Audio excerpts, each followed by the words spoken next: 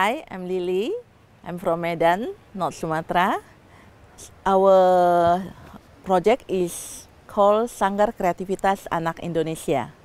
And our product brand is Kita Hebat. In Medan now, there are more and more special need teams. And last year, last year, uh, Medan uh, get announced uh, is the dirtiest city in Indonesia. So we commit uh, to empower special needs children to uh, make something like um, recycle products or biogas.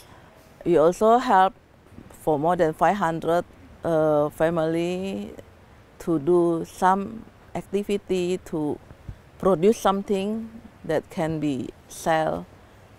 Uh, we want to increase the production and also want to make more class almost is uh, recycled products like this.